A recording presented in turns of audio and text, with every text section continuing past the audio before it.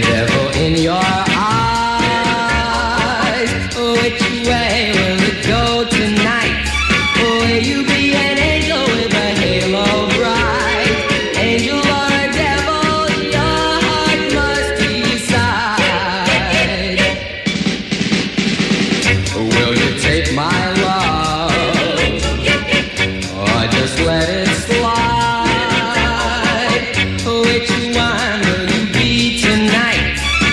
way you